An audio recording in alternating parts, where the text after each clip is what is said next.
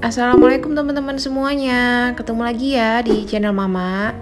Nah di video kali ini Mama masih membahas tentang keuangan rumah tangga. Dan untuk video kali ini ada Bunda Frima Yang kemarin itu udah sempat DM Mama. Jadi Bunda Frima ini minta tolong untuk dikoreksi anggaran keuangannya Nah, jadi di sini Bunda Frima juga kepengen banget uh, beli mobil dengan cara uh, menabung ya, teman-teman. Jadi gimana cara Mama buat uh, bantuin untuk koreksi anggarannya? Ikutin terus ya video Mama. Nah, jadi untuk gaji suaminya di sini 15 juta per bulan ya, teman-teman. Jadi untuk gajinya itu cukup besar.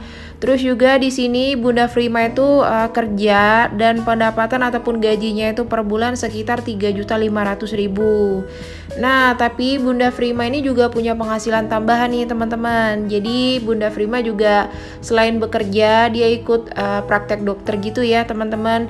Nah, untuk penghasilannya itu setiap minggu sekitar 500 sampai 700.000. Jadi kalau satu bulan uh, Mama hitung sekitar 2 juta bahkan 2 juta lebih ya teman-teman. Jadi di sini mama ambil nominalnya 2 juta aja dalam satu bulan untuk penghasilan tambahan.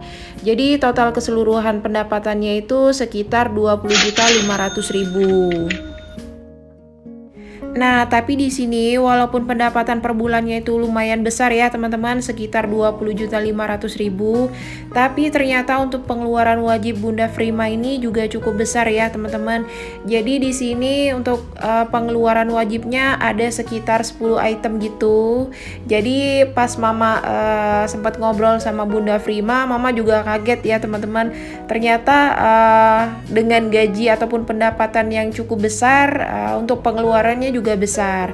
Makanya di sini Bunda Frima minta tolong dikoreksi supaya kebutuhannya juga cukup dalam uh, satu bulan. Terus juga uh, Bunda Frima ini pengen banget punya tabungan uh, per tahunnya tuh kira-kira uh, 50 juta ya teman-teman. Bahkan uh, Bunda Frima ini punya cita-cita pengen beli mobil. Nah jadi di sini Mama coba koreksi anggarannya supaya nanti bisa cukup ya teman-teman uh, untuk beli mobil. Kemungkinan uh, menabungnya dalam 2 tahun tapi nggak apa-apa. Yang penting bisa kebeli mobil walaupun di sini untuk uh, budget yang kita kumpulkan nggak bisa untuk beli mobil baru ya teman-teman. Jadi walaupun uh, mobilnya mobil second ataupun mobil uh, bekas yang penting di sini mobilnya juga layak untuk dipakai. Jadi di sini untuk pengeluaran wajibnya mau mama uh, jelasin dulu sama teman-teman. Untuk pertama di sini ada uang saku suami karena suaminya itu kerja di luar kota tapi uh, suaminya tetap uh, pulang PP gitu ya teman-teman. Jadi pulang pergi itu budgetnya sekitar 2 juta rupiah untuk uh, per bulan. Terus juga untuk kasih ke orang tua 1 juta 500 karena di sini pada saat Bunda Frima dan suaminya kerja anaknya ini dititipkan ke orang tua. Dan rumah orang tuanya kebetulan ada di sebelah rumah Bunda Frima sendiri. Terus juga untuk kasih mertua 500 ribu. Ada cicilan rumah di sini 6 juta 200 ribu. Terus juga ada koperasi kantor 2 juta 800 400.000, listrik dan PDAM 450.000, BPJS adik dan ibu 200.000, terus juga biaya WiFi 325.000, untuk SPP anak 300.000, Terus yang terakhir ada cicilan sepeda adik 890.000 dan masih lima kali lagi ya teman-teman. Jadi untuk total pengeluarannya setiap bulan totalnya 15.165.000. Lanjut di sini untuk kebutuhannya mau Mama rinciin dulu. Jadi kebutuhan ini uh, sebelumnya yang udah diatur sama Bunda Frima ya, teman-teman. Jadi yang pertama di sini ada belanja bulanan, itu budgetnya sekitar 700.000. Terus juga untuk belanja sayur di sini budgetnya sekitar 1 juta dan juga di sini uang jajan anak ada dua orang sekitar 400.000. Jadi total kebutuhannya itu 2.100.000 ya, teman-teman. Dan itu belum termasuk kebutuhan yang lain. Contohnya uh, pembelian beras, minyak, terus juga uh, pembelian gas. Nah, makanya di sini Mama mau coba koreksi untuk di pos kebutuhan ya, teman-teman.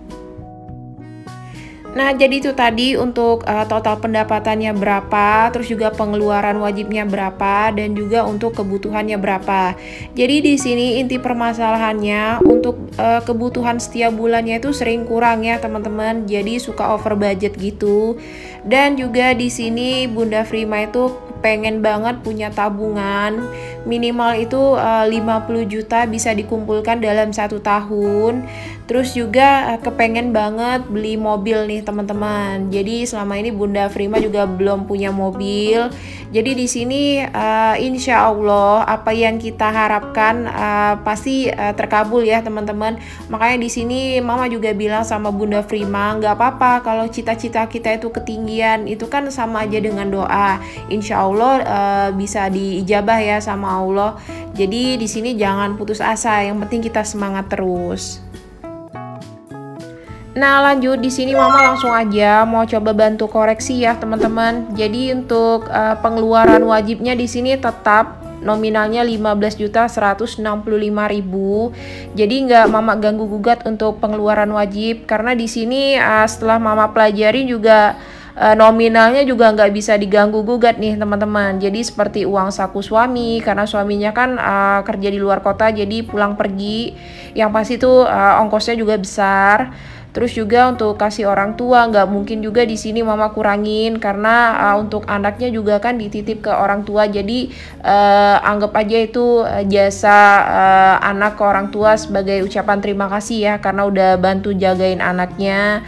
Terus juga kayak cicilan rumah, koperasi kantor itu nggak mungkin semuanya mama utak atik ya teman-teman. Jadi untuk pengeluaran wajib mama biarin aja nominalnya tetap segitu.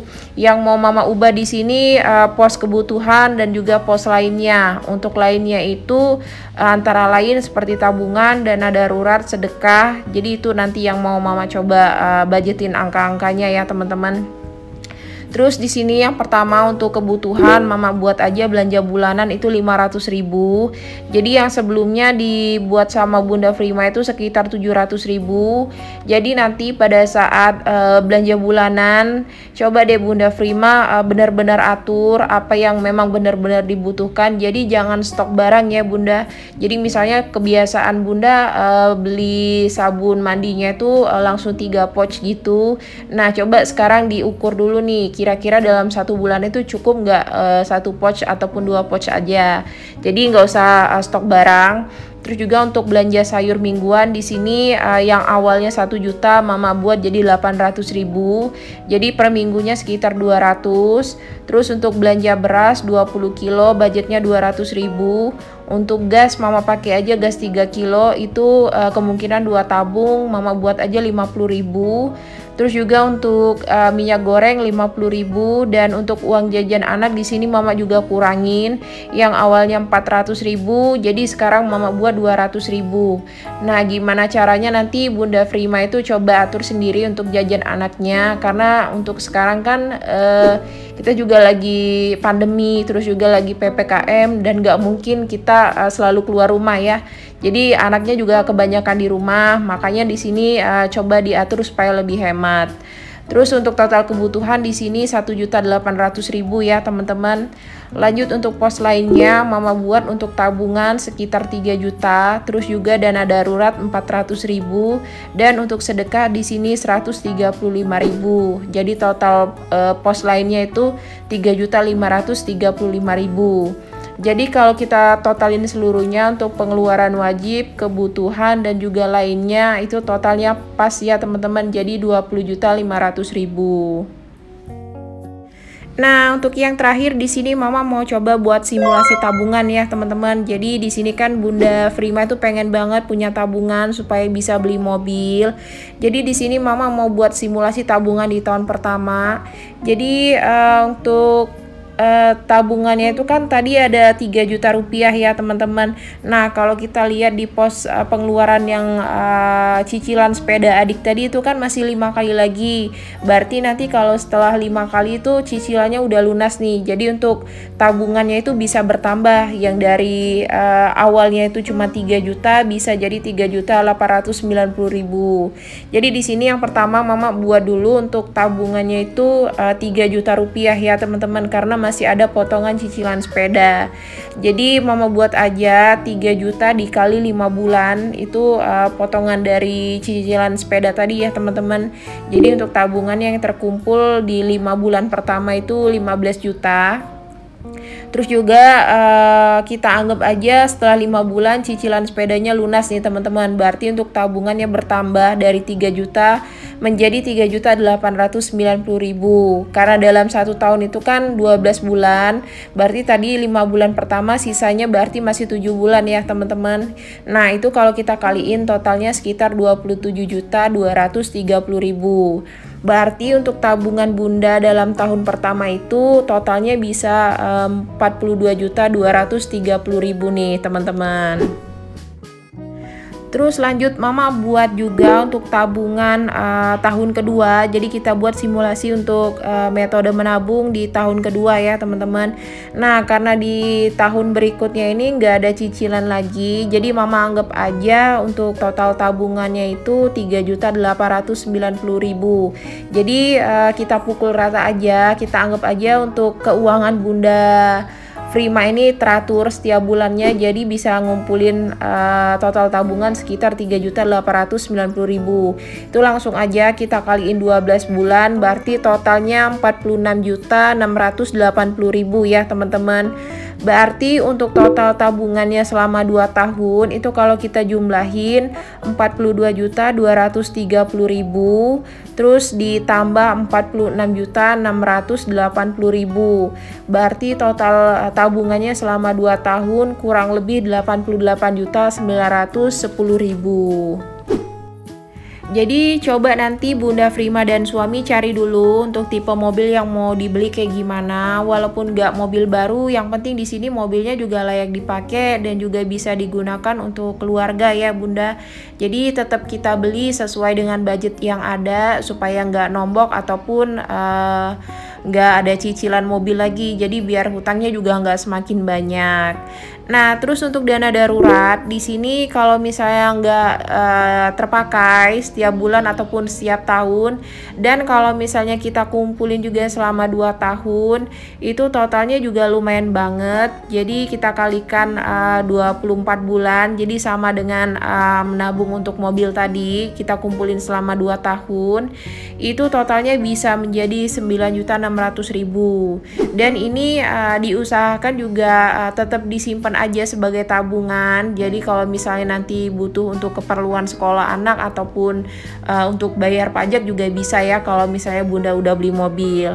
Nah, itu tadi untuk koreksi anggarannya semoga bisa membantu ya Bunda.